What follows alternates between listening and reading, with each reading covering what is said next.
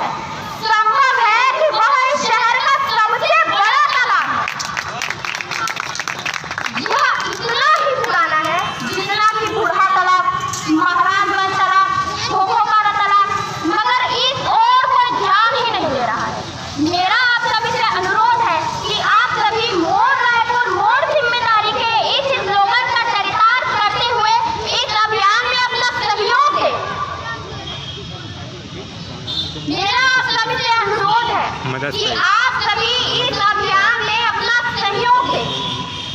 आज गजराज चीख चीख कर कह रहा है कि मुझे बचाओ।